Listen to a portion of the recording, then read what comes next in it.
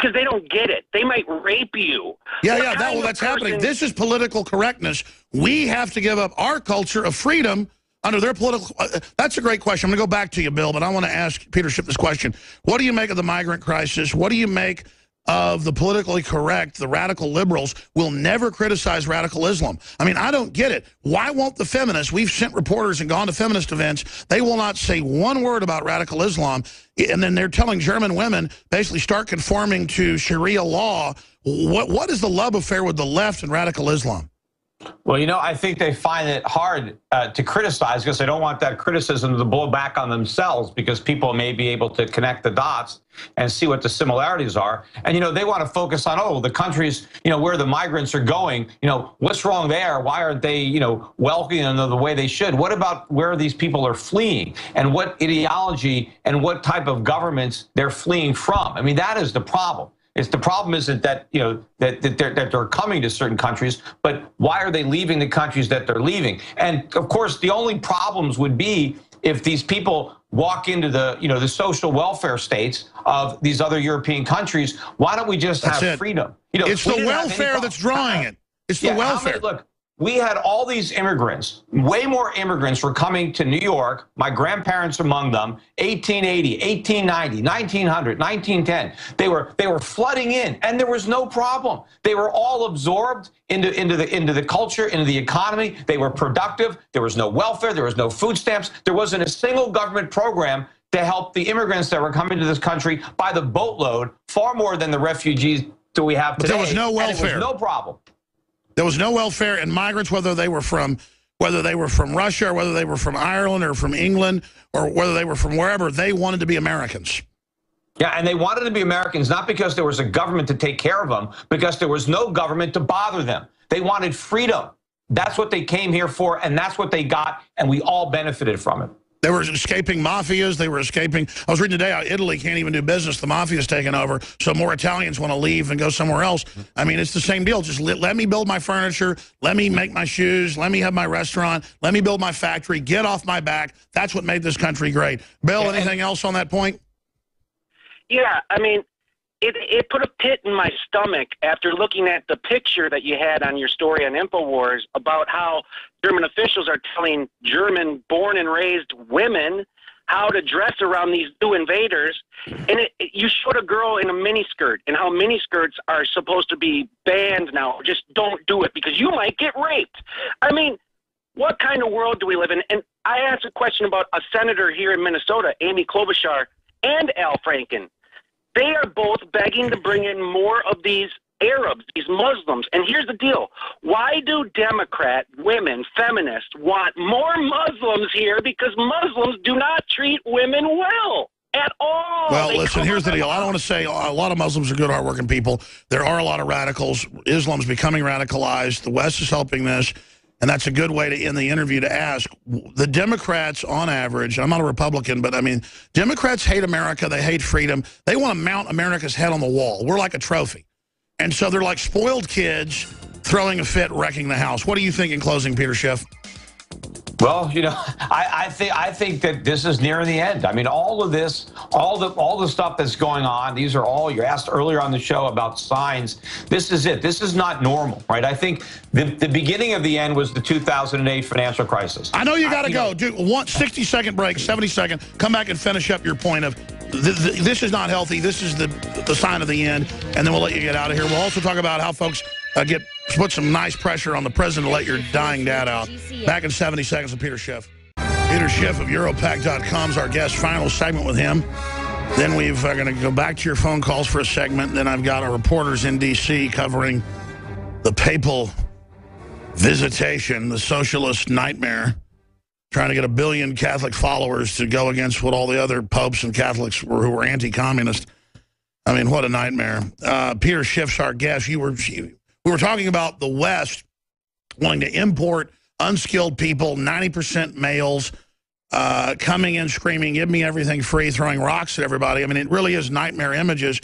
The media is trying to cover it up. And the caller said, what does this signify? And you said, it signifies that we've entered insane asylum land, basically, the end. Uh, put a bookend on that, and, and also how you think we could uh, put more pressure in a nice way on that prison uh, and, and the Bureau of Prisons to release the political prisoner, uh, Irwin Schiff, your father, because do they really want a martyr on their hands? Do they want him to die in prison?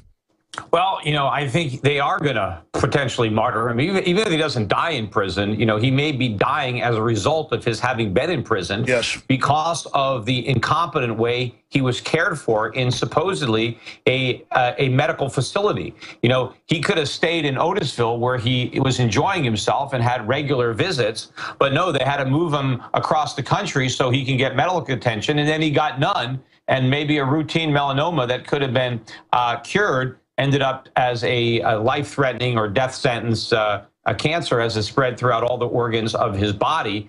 Uh, so what can people do? I don't know. You know, I mean, you can call a congressman, put pressure, let, let him out, get an investigation of, of the prison. I think it's a disgrace what's happening. But if even the people in the prison say, yes, we want to let him out, well, let him out. But this is government. Nothing can be done. You can't make a decision. Everything's got to go through so many different layers of bureaucracy that things that a private company could do or a private citizen could do in a minute takes governments months and maybe they can't even get it done. So we have to put some outside pressure because they're certainly not sure. uh, moving on their own. But the final thoughts on this end game, again, I think this thing started to unravel in 2008.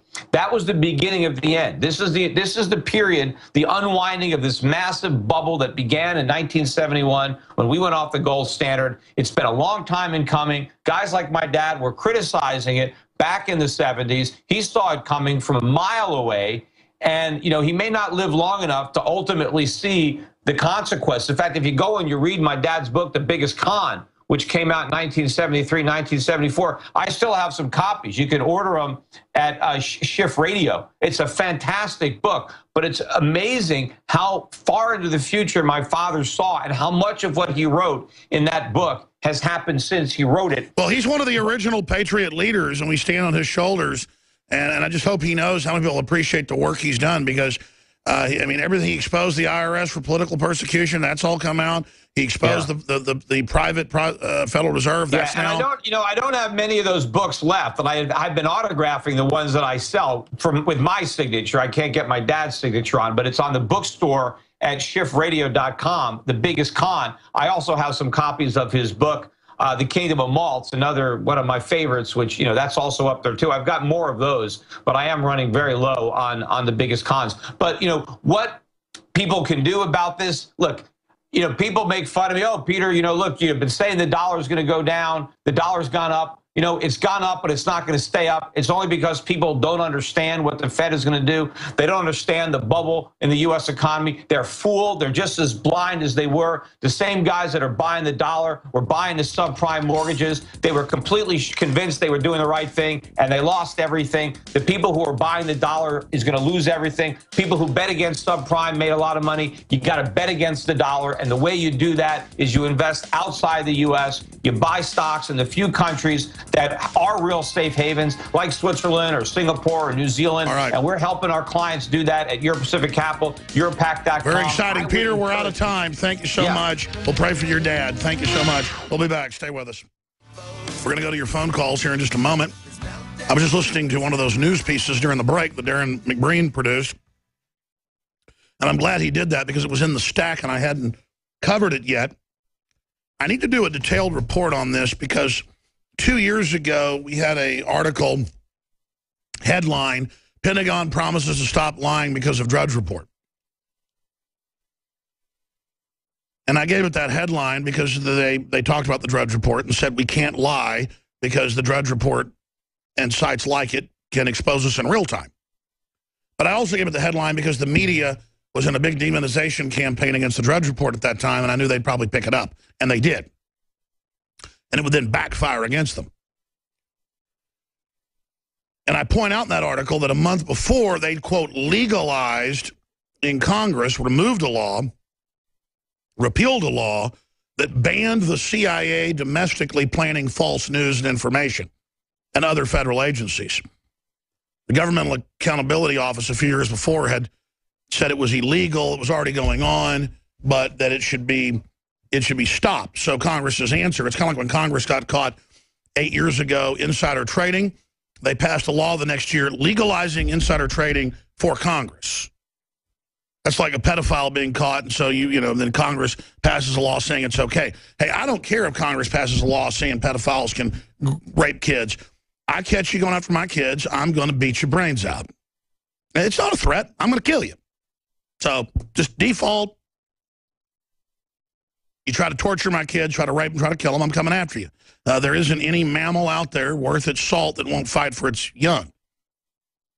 And that's the ultimate final domination. Your kids belong to us. Uh, we're going to give them inoculations. Parents, you know, aren't the parents. I mean, this is a rubbing your nose in it activity by a cult of scum. Good people don't desire the power. The scum does.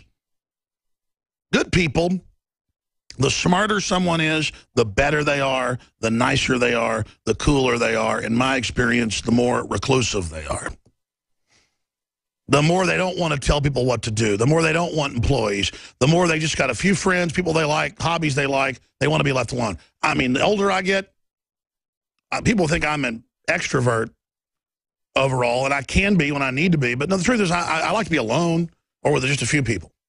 I'm very introverted. And I'm not saying I'm the greatest guy since sliced bread, but, you know, I don't want to screw folks over. I really care about people getting a fair shake.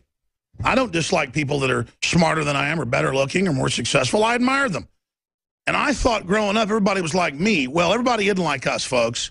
The listeners of this, of this show are good people. I've met you. I know you.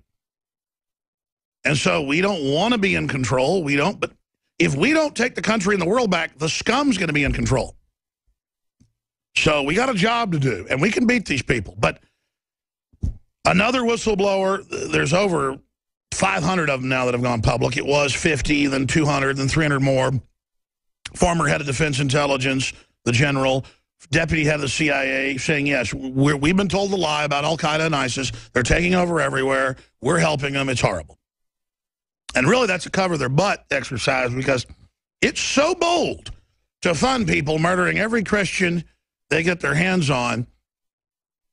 And Obama, through his family in uh, Kenya, they're in northern Eastern Africa sh shipping money into the Muslim Brotherhood. I mean, this is really dastardly. I mean, this is, there's a new James Bond movie coming out with Spectre.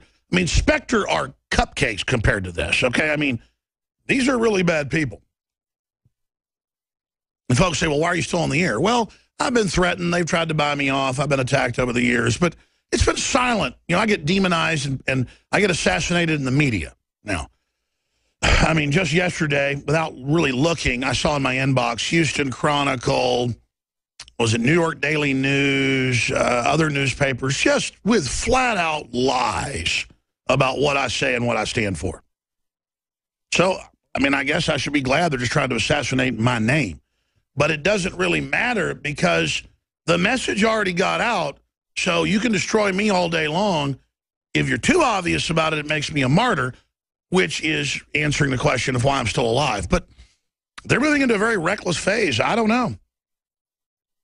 There may become a time where they come lock me up, make something up. I mean, who knows what it'll be.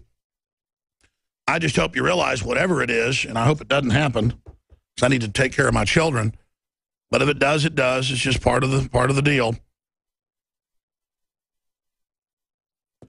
I mean, I think I'll be fulfilled if they set me up or put me in prison or kill me. I don't want to be fulfilled. My flesh doesn't want to be fulfilled. But that really is probably my destiny. And I hate to speak such things aloud, but I just want to say I'm a winner.